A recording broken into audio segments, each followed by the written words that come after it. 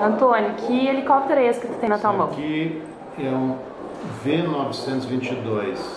É um helicóptero quase inquebrável. Ele é totalmente acrobático. Tá?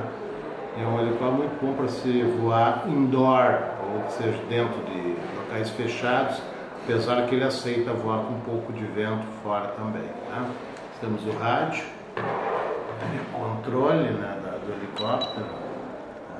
Que vai fazer ele fazer todos os movimentos, certo? E aqui dentro da sala da redação, ele consegue voar também? Consegue voar aqui dentro, sim. Com restrições, porque o espaço é pequeno, mas voa, sem problema nenhum. Pode demonstrar pra gente? Pois não. Vamos, fazer, vamos ligar aqui. Tem... Está ligado. Tem uns certos cuidados aqui. Porque deixar ele dar uma mexidinha aqui, viu? Então ele disse que ele está pronto para voar depois que ele mexer, tá? Então nós vamos botar ele aqui, mais para cá. Vamos afastar um pouquinho, porque a gente vai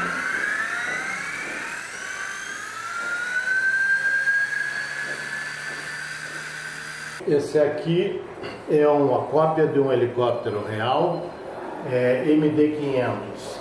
Esse aqui é o mesmo MD-500, só em tamanho menor. Tá?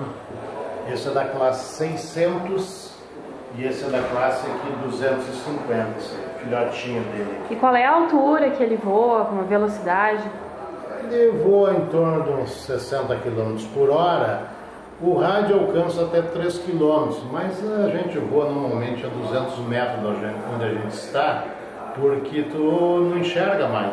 Aí tu perde completamente a noção de distância e o controle não adianta, né? Porque tu vai perder a máquina, tanto ele como o avião, né? Na faixa de 200, 300 metros de distância máxima, né?